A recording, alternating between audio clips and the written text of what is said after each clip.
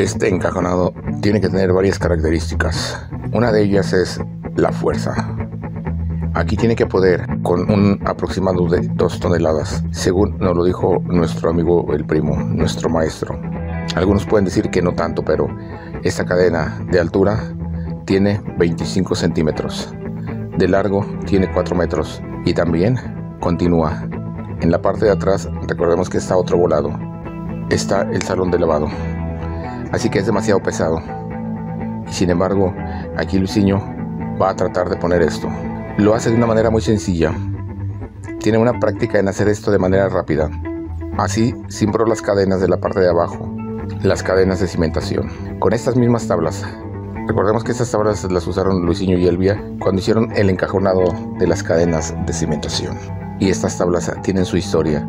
Recordemos que estas tablas las mandó a hacer Luisinho allá en una carpintería. Y vemos sorprendentemente que hay muchísima madera. Aquí estamos disponibles para ver el corte. Precisamente en el lugar donde las compró. Es una maderería, pero también es carpintería.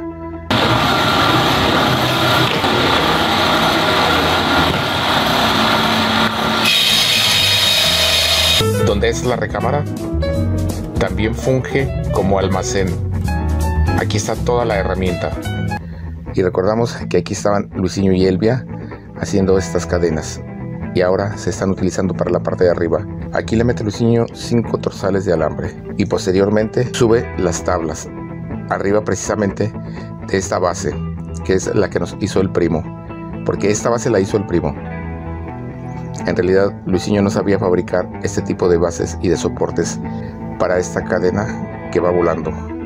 Algunos le llaman cadena volada. Tal vez existan otras maneras para denominar este tipo de cadenas que precisamente va volando.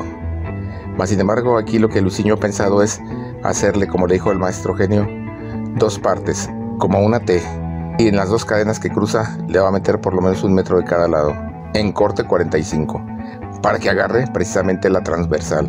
Sin embargo, aquí tiene que cortar. Tiene que poner dos tablas que midan exactamente lo que mide esta. Es 1.36 y esas tablas no las trae cortadas. Obviamente no, sino que se tienen que empezar a hacer los cortes.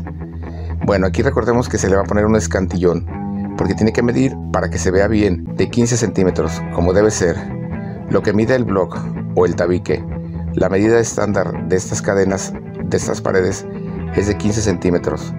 En pulgadas se puede hacer la conversión, mas sin embargo ahorita se está utilizando esta medida mexicana. Así que vamos a ver, hay que traer dos tablas que le queden, y si no están hechas obviamente se van a tener que cortar. Así que primero, a buscarla de este lado, Luisinho. Es 1.38. Y están casi iguales en realidad. De este lado es 1.36 y del otro lado es 1.38. Así que vamos a ver si esta que está por aquí le queda sin querer. Esta no se le ha hecho ningún corte, pero Luisinho a puro cálculo cree que le puede quedar. Vamos a ver. Aquí le va a poner otros tres torsales de este lado. Aquí es menos. Vamos viendo. Ándale. Qué suerte tiene Luisinho. Sin querer le quedó, y tal vez al puro centavo. Tal vez no fue sin querer, sino que estas tablas ya se habían utilizado en la parte de abajo, por lo tanto ya tienen la medida estándar. Como se utiliza en la parte de abajo, ahora se utiliza en la parte de arriba. Así que al cortar estas dos tablas, si se fijan, va a ser también la medida de la pared que está a nuestra izquierda. Es decir, que ya no se van a tener que estar cortando. Se saca la medida de esta y luego automáticamente se cambia a la de la pared y va a quedar exacta porque se supone que está escuadrada esta construcción. Ahí obviamente sí se va a tener que cortar aunque sea un pedacito. Bueno, se le tiene que rayar para hacer un corte abajo. Se tiene que bajar, hacer un pequeño corte y luego se la trae otra vez hacia arriba. Pero el chiste es medirle bien, rayarle perfectamente bien para que no vaya a sobrar ni a faltar. Vamos a traerle para la vamos a cortar.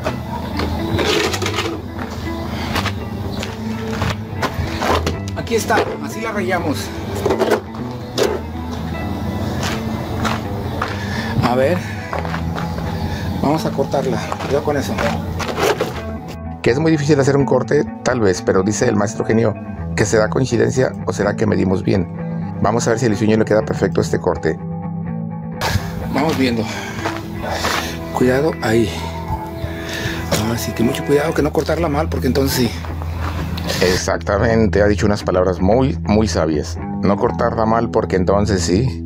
Si le falta, hay que añadirle. Y si le sobra, hay que regresar a cortarle más.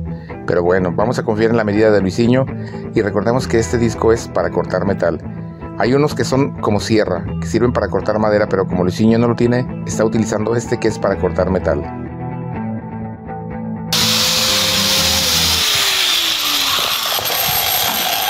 Bueno, ahí quedó. A ver si le atinamos a la medida. Vamos a ponerlo allá. Vamos a llevarlo donde debe de irse. Bueno, ahí está cortada. Vamos a llevarla a su lugar. A ver si es cierto que quedó. Cuidado aquí. A ver si no nos falló aunque sea por un centímetro, porque es falla por un centímetro.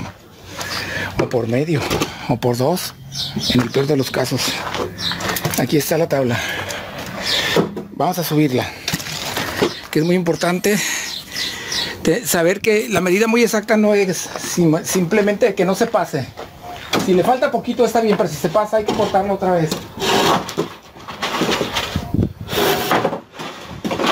Aquí está la tabla. Cuidado aquí. Sinceramente sí está fuerte el sol. Pero debemos saber que así es. Y viene lo peor, apenas estamos en invierno. Todavía no entra la primavera. Febrero, marzo. Ya mero entra, pero todavía no. A ver, aquí es el pedazo, miren que faltó. Puro cálculo porque no estoy viendo. Aquí tenemos el amarrador.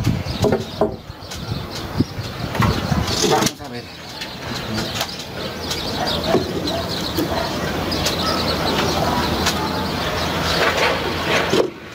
Exactísimo, mi hermano.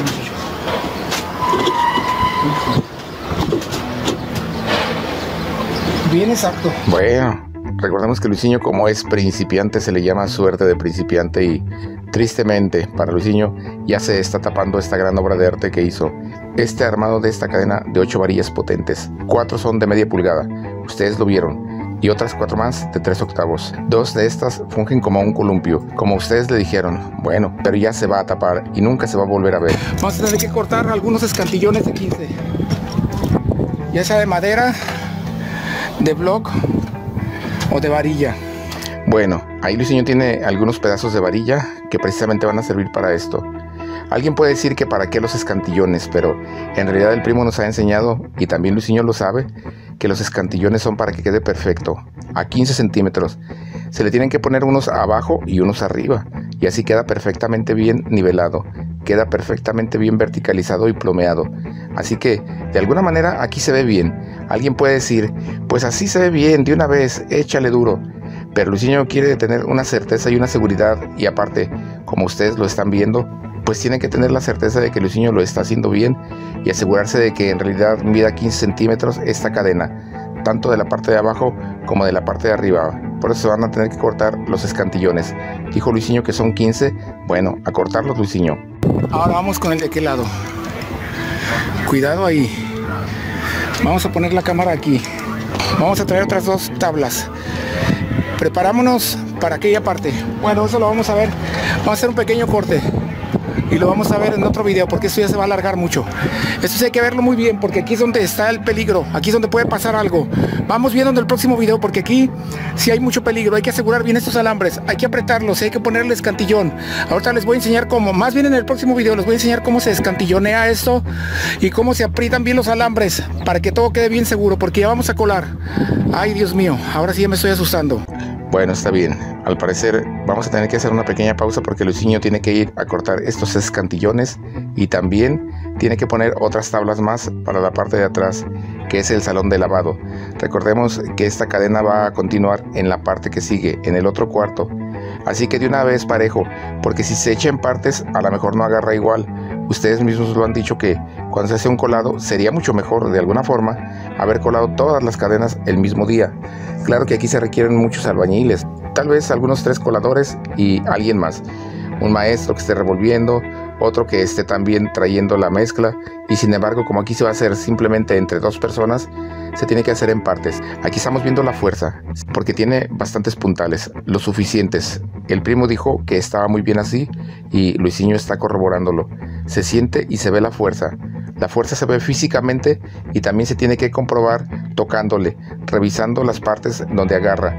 Porque recordemos que en las dos orillas, en los extremos, estas partes que le puso el primo como unas cejillas, vienen fungiendo a final de cuentas como puntales.